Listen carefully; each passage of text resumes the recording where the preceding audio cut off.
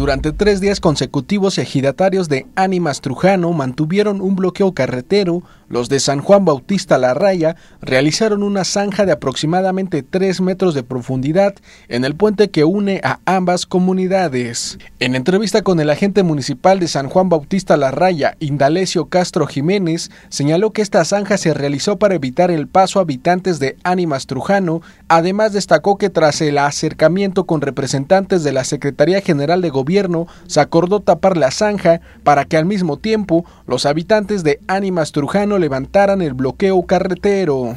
De hecho, nosotros le estamos apostando en la vía del, diálogo.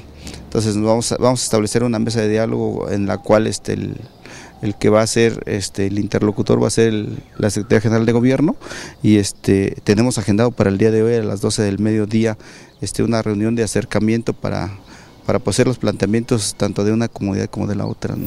Aseguró que su principal demanda es la separación del ejido, ya que actualmente comparten 693 hectáreas y de lograr dicho acuerdo obtendrían alrededor del 60% de dichos terrenos. La, posesión más alta la tenemos nosotros y ya lo definiríamos en la mesa de, negociaciones, ¿no? Sí, este, sí, este, la ley lo permite.